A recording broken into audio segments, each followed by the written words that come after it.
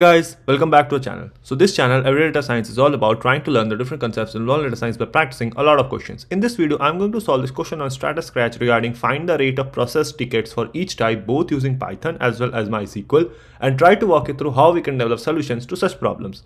The difficulty level of this question is medium and this question has been asked in Meta or Facebook interviews. Okay, let's jump right in.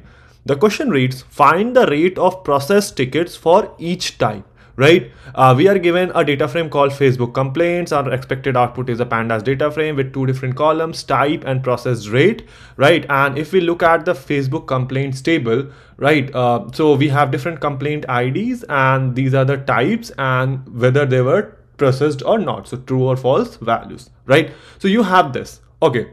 So basically, if you think about it, it is just calculating the mean for each of the type right? So basically if you group by this type column, right? And then from this processed column, if you just, you know, calculate the average of, of it, right? So that is going to give you the processed rate. So what we can do is from this table or data frame called Facebook complaints, right? We can group by, right? So we can group by the column type right? And since we don't want that you know to be an index we want that as a column value in the output right? So we need to write as index is equal to false right? And then what we can do is from which column do we need to calculate the mean? Processed right? So from the processed column right? From the processed column you just calculate the mean right? Let me run this. Let's see what we are getting. So yeah if you look at it our output is same as expected output. Let me go ahead and submit it to see if it passes all the test cases.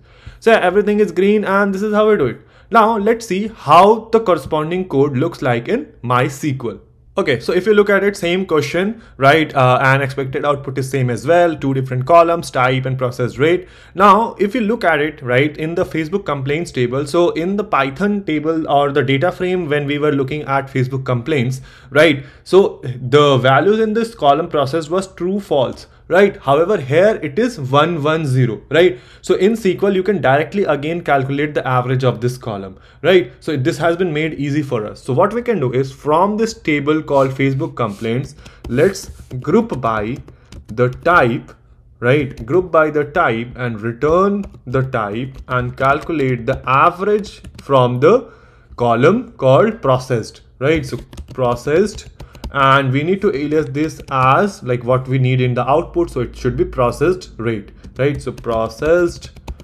underscore rate Okay, so since we don't need to order by or anything, uh, I think this looks good. Let me run this. Okay, so now our output is again same as expected output. Let me go ahead and submit it to see if it passes all the test cases. So yep, everything is green and this is how we do it. Again, even though it says medium difficulty, but actually it is very easy. All we had to do was from this state table or data frame called Facebook complaints, we just grouped by the type, right? And then just calculated the average from the process table because it is a Boolean value, right? So yeah, this is how we do it. Let me know if there is a better way or a more efficient way you can think of to solve this question. Let the solution be in the comment section below. And until then, I will see you guys in the next video.